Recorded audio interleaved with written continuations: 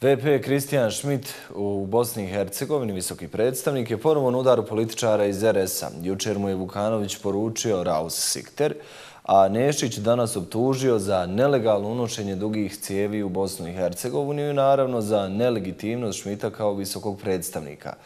Dok provjerava visokog predstavnika, njegovo osiguranje i oružje koje nose bumerang. Nešiću je podignut stepen zaštite. Direkcija za koordinaciju policijskih tijela utvrdila je da mu je ugrožena sigurnost. Na ovu najavu dodajemo i da je Nešić izjavio da će možda uhapsiti visokog predstavnika ako dođe na teritoriju RS-a. U BH imamo čovjeka koji se sam sebe naziva visokim predstavnikom, a to nije.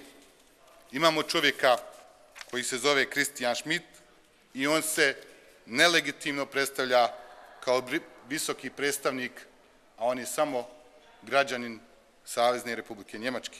Analizom sadržaja donijeti rezolucija Savjeta bezbjednosti i Ujedinjenih nacija zaključuje se da ne postoji ni jedan dokument, niti odredba koje se precizira postupak i potvrđuje imenovanje Kristijana Šmita. Ovako izgleda rezolucija Savjeta bezbjednosti koja je donijeta kad je visoki predstavnik bio gospodin Incko.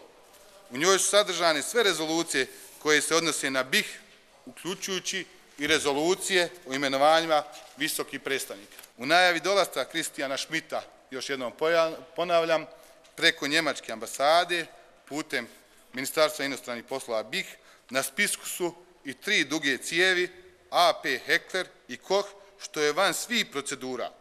Ovo oružje je vraćeno u Njemačku tek u junu 2022. godine i mimo procedura je bilo na teritoriji BH od 5.11.2021. godine. Gospodin Šmit je nelegalno unio duge cijevi i moram odmah da vam kažem da je ovo propust naših službi bezbjednosti, naše granične policije, koja nije smjela dozvoliti da neko unese duge cijevi na teritoriju BH.